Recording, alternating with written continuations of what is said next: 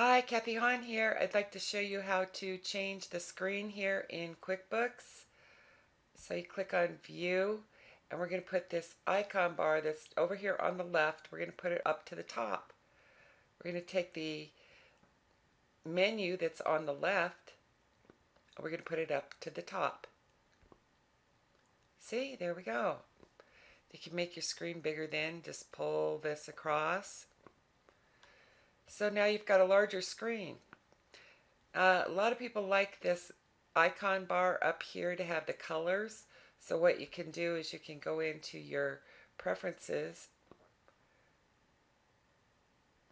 look at your desktop view,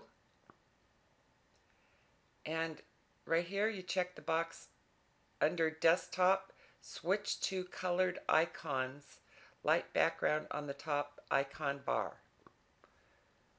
and say OK. There we have our colored icons up on the top. Let's try and add an icon to the top bar here.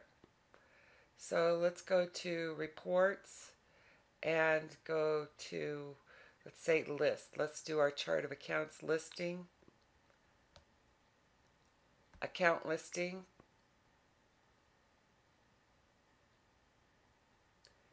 And now if you want to save that here up in the icon bar, just click on Customize Icon Bar.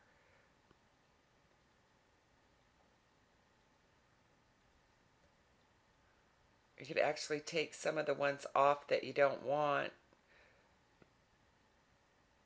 Such as for right now, I'm not going to add payroll. So I'm going to take that end icon off and say OK.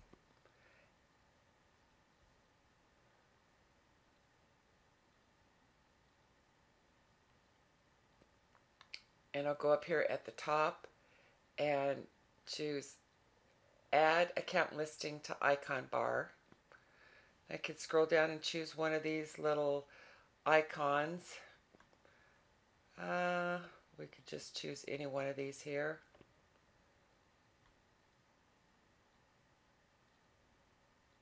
Choose this green little guy. I chose to put that up here on top. However, we can't see it. It's in this drop down menu right here, account listing. So anytime I want the account listing, just click right here, see account listing, pulls up that report. You can do that with um, just about anything in QuickBooks. You can create an icon for a special task that you do on a regular basis. Okay.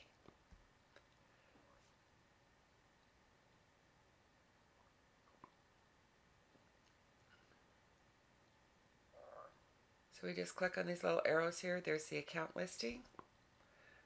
Pops right up. And that's how you do that. So hope you have a great day. See you soon.